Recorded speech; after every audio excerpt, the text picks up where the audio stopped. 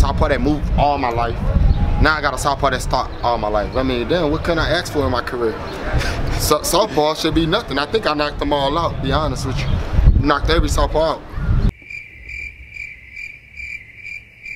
See, they think, you know, I, am gonna tell They you knocked something. me I'm out. glad we together right now. Other southpaw. No, no, no. We talking about during the fights. Look, look, look.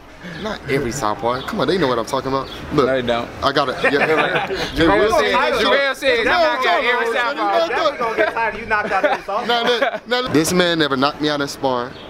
That's a fucking lie. All right.